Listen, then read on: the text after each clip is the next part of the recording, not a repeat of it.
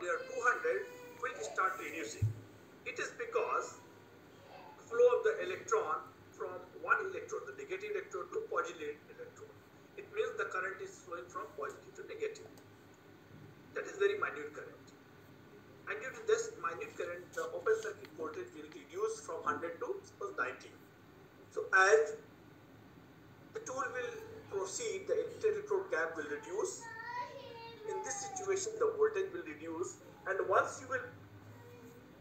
the value which has already been fixed, that is 50 volt, the stage will stop. Now EDM process will start. start. This is ZCNC EDM. It can create holes. It can create different type of cavities. Now, if you want to perform EDM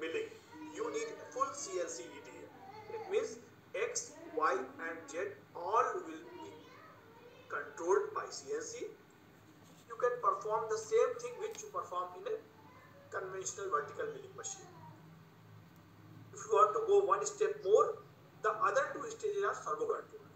So first is only Z servo control. There is no XY motorized stage. Only minor motion can be given for the vertical motion. Only the second one is you have servo mechanism in Z stage, but other two XY can be controlled by CNC.